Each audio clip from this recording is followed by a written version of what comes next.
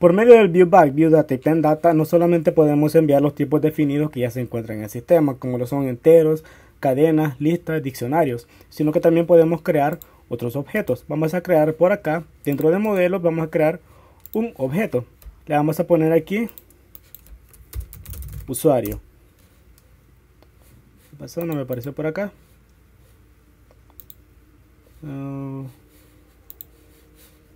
Creo que no se creó.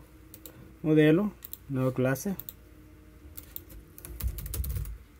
Usuario. Entonces vamos a crear por acá. a poner string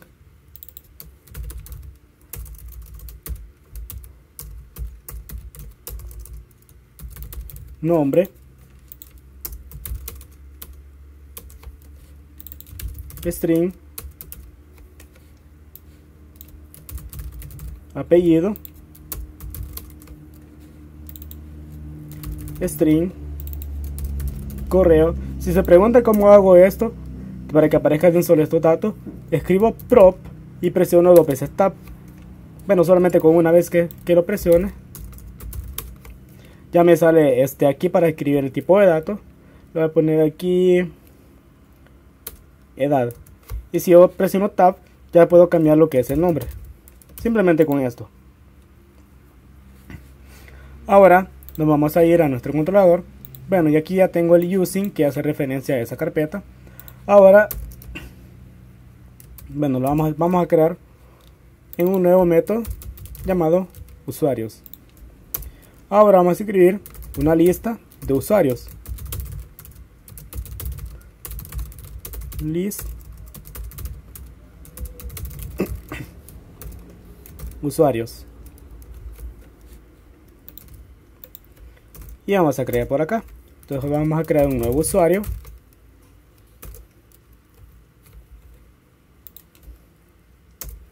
Vamos a poner el nombre.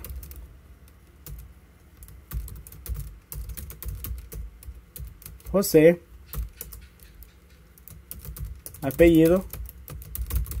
Fuentes.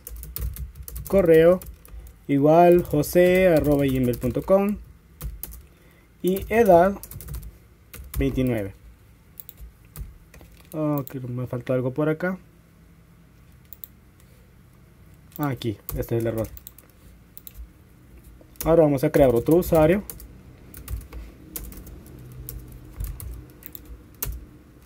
Vamos a poner el nombre.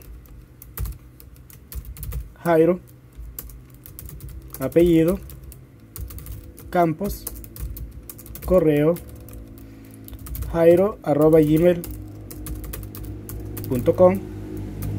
y vamos a poner aquí edad 25 vamos a crear solamente un usuario más. Vamos a quitar esto vamos a poner aquí Pedro eh, Rivera. Pedro. Y aquí 35 mm, años entonces aquí ya tenemos nuestra lista. Ahora la vamos a enviar por medio de un view data. Vamos a poner aquí usuarios. Va a ser igual a usuarios. O algo también que podemos hacer directamente es hacer esto. View data usuarios va a ser igual a la lista no es necesario hacer esto esta asignación lo podemos hacer de una sola vez. Ahora vamos a ir a home y vamos a crear una nueva vista llamada usuario cshtml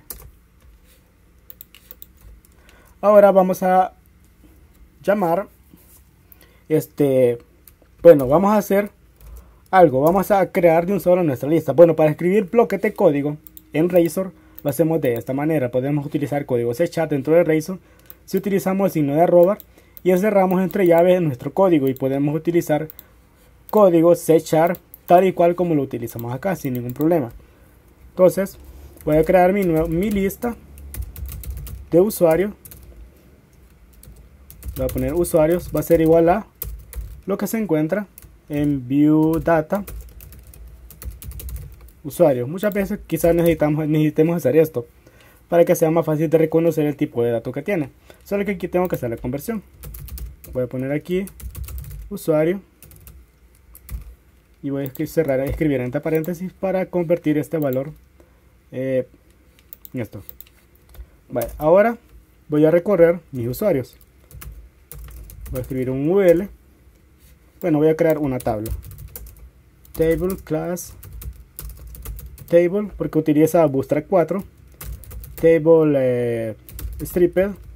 Se me olvida con una P o con dos. Table bordered. Vamos a cerrar nuestra tabla. Vamos a escribir nuestro header. TH, nombre. No me faltó el TR.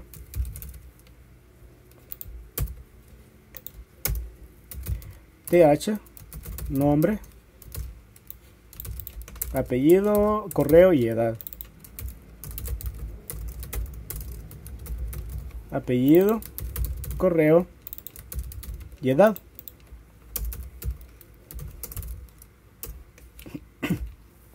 Bueno, algo que no es muy recomendado. En el video anterior yo utilicé lo que es un for each, pero el for each es más lento que utilizar un for. Así que aquí vamos a utilizar un for. Primeramente vamos a sacar el número total de registros, que va a ser igual a usuarios.count. Y vamos a recorrerlo por medio de un for. Vamos a escribir for siempre con el signo de arroba int i igual a 0 y menor o igual a total menos 1 y ahora bueno simplemente vamos a incrementar el contador ahora vamos a lo siguiente vamos a mostrar por acá tr y vamos a mostrar cada uno de los valores aquí me faltó bueno eh, y menor igual, está bien. Ahora voy a mostrar usuario, el índice y voy a escribir el, el valor que sería nombre. Esto me va a generar un error. Apellido, porque hay algo que me falta hacer. Correo y edad. Bueno, ya con esto ya me tendría que mostrar cada uno de los datos pero me está mostrando aquí es usuarios ya me está generando bueno vamos a detener bueno aquí me está mostrando un error porque aquí escribí mal. Aquí era usuarios. Entonces aquí ya me lo está mostrando. Pensé que me iba a generar un error porque pensé que me iba a decir que no iba a encontrar el tipo de dato usuarios extrañamente quizá ya en esta versión de Netcore ya fue de un solo llama los objetos porque normalmente yo tendría que hacer esto. Using tendría que llamar la carpeta donde se encuentra este esta clase que sería databag.model porque si no no la encontraría. Pero siempre me funcionó sin necesidad de hacer eso. Pero en el caso de que le genera un error que no es encontrado el tipo usuario o el tipo que ustedes hayan creado tienen que hacer esta tienen que llamar este nombre de espacios. Entonces aquí podemos ver que ya tenemos cada uno de nuestros datos. Este lo podemos hacer también de esta manera. Podemos enviar cualquier tipo de datos que nosotros queramos lo podemos enviar a una vista